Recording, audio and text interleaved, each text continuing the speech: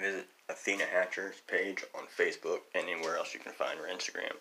Kill Athena. She's hot and she's a goddess and she knows what she's doing with uh, coming up hard and taking over the world. And I do respect and appreciate her, and I hope she joins in commenting on uh, this uh, experimental theater shit I'm doing.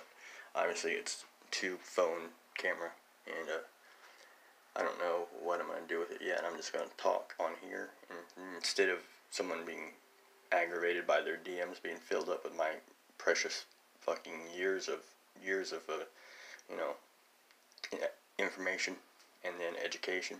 High school was information getting pussy.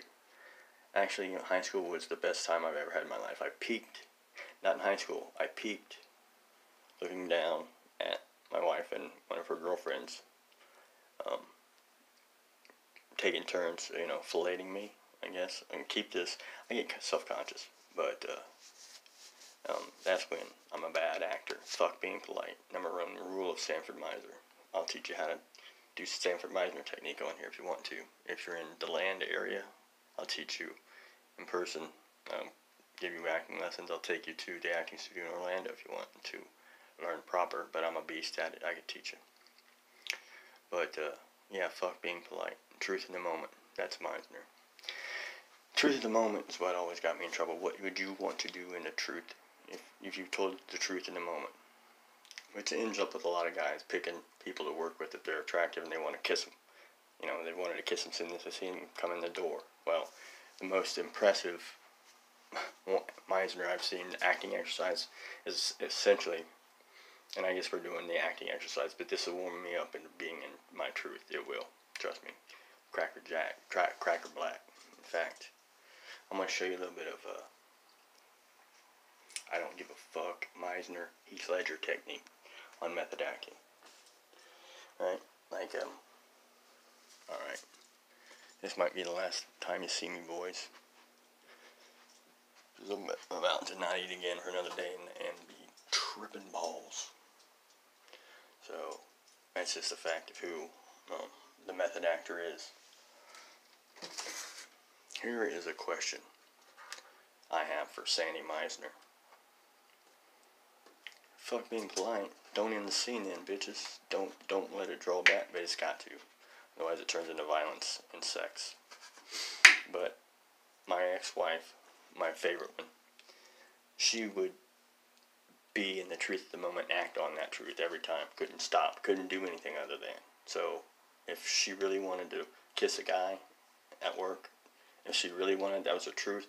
That's what she did. I mean, she would listen to what she wanted to do like it was the end of the world, like there was no consequence one buddy said, I kissed your old lady at work, and she says, I'm so sorry.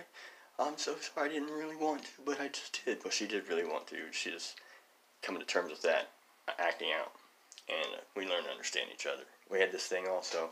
I learned this in acting. If you learn the if you learn the the lines down pat, learn lines down pat, then you can do whatever you want with your emotions. The lines are the raft and your emotions are the river. Alright? Doesn't matter what the river is uh, going through. And, um, and then you can you can play with the lines. So I can say, fuck you motherfucker. You're gonna have to leave this diner or you're gonna get shot. Or if you if you motherfucking pricks move, I'm gonna execute every one of you. They can do that line. I mean just like I didn't do the same line twice, but the emotion was different. The same line could be said a million ways. At, first, I thought John Travolta was to ruin Pulp Fiction, but he played a really good heroin addict, and I, I applaud him. And I think I think he might have uh, um, done a little character uh, acting on that. He he struggled with the morality of uh, of it all. Man, really the uh, what's the what's the fucking real catch for the rich guys in Scientology? You know, hide their money there. That's probably it. They get tax sheltered for a big time, huh?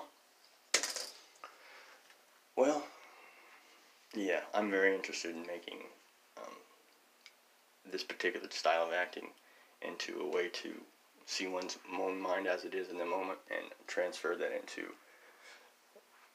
um, another another skill that I have, just big mind. And Genpo Roshi developed it, or put it together for our use, which shows you who you are and how many of you there are to uh, in there going crazy. And uh, he helped my wife. He helped my wife learn that uh, she wasn't the only one that had voices or issues with who's who was running who. Um, all the bad voices she'd hear, those are people who were trying to protect her and uh, were on her ass, and she felt overwhelmed. They were out of, out of, out of kilter. And so what Genpo Roshi did was bring in some other voices to mediate, and it fucking worked. It worked. But she was so terrified of Genpo Roshi's Skype. I don't know why, but she was terrified of it. I don't think she wanted the voices to go away. I think she wanted to. Um, I think she wanted to keep them because she was comfortable with them. They protected her from all this shit.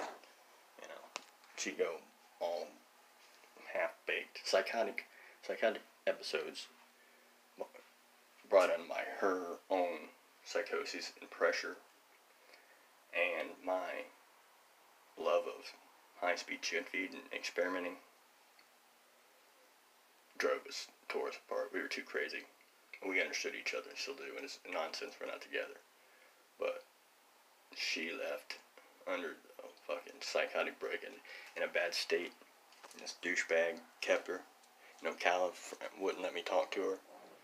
Uh, said they would call the police if I drove over there. That was her, her family. Please don't come here. We'll call the police. She does not want to see you. She does not want to talk to you. Well, they were holding her captive, and she didn't have any way of making that decision for herself. They were looking at her breaking down and just not knowing how to treat it other than it's my fault somehow.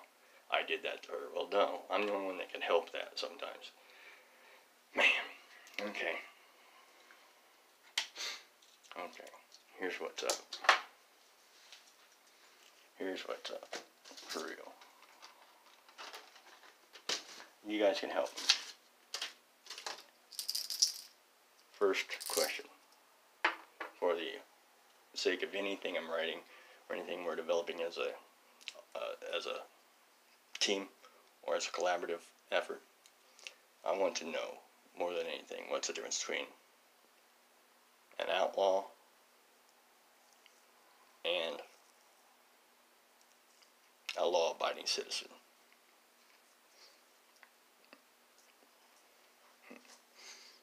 To me, an outlaw is not a fucking brand. They turned it into a brand. We know that. I'm gonna bring GG Allin have something to say about that branding shit. They can do it to Hank Williams. They can steal Hank's legacy and uh, start start saying he's the first outlaw. But he was an outlaw because he turned the whole world on its ear.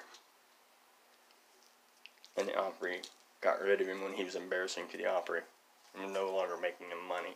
Well, I got news for you, buddy. Um, Hank Williams died of opiate overdose. He stopped at two different doctors within an hour or two from each other drinking. Got into a room, passed out, hit his head. A hooker helped him up, or you know, he and he said, "All you angels are going to be the devil to me, or taking me to hell," something like that. So he, I guess, uh, guess, I guess he, uh, he knew what he liked. I don't think he was getting them for his back. The booty would have done that enough. And some old home remedies I'm sure they had for backs. Drive, touring around the country in a Cadillac doesn't really fuck up your back. Now, if he was on uh, the Black Flag, getting a van shit, and getting spat on by fucking crazy punk rock kids, I think you'd be kicking their ass and fucking driving that man over their fucking girlfriends. But you know, that's what an outlaw would do: correct the situation. That's what that's what GG was trying to do was eliminate, burn it down, start from the ground up. Because institutions and buying in to an institution, you're really just buying into a so-called institution, a money conglomerate. The Opry just investors owned Hank until he was not, owned the image and song of Hank Williams and promoted him until it was embarrassing to do so for the fucking howdy towdies. But they killed him. The doctors that gave him the shots were recommended by the Opry. And he had been getting them while he's performing on the Opry. And he had been having trouble controlling his need for the shots. But uh, he's Hank Williams, so he gets what he wants, right? That's what the doctors thought.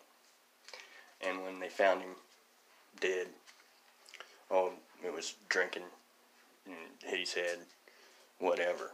No, the autopsies do not did not do toxicology reports because the doctors reported what they did, so there was no need to find opioids in his blood because they or body because they already knew that they were there because the doctor's report doesn't tell you that they got him, you know, give him enough to knock his ass down, you know, two different states. God damn it, man! I just set down a bunch of fucking um, prop speed. I can't lose that.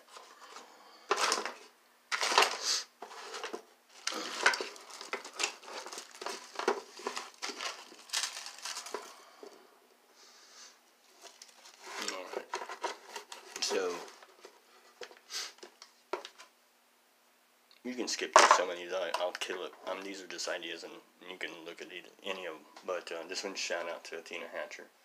I'd really like to talk to you on the phone about how you would like to be involved in this Fringe Festival adventure. Um, it's going to get wild, I have a feeling. I'm going to start losing friends. You know what catch and kill is, huh? Do you, nigga? You know what catch and kill is? Hmm. Yeah. You ought to. You ought to.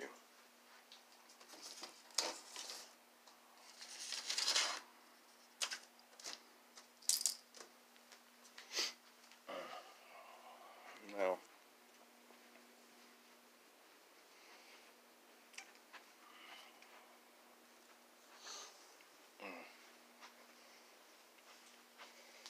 Well.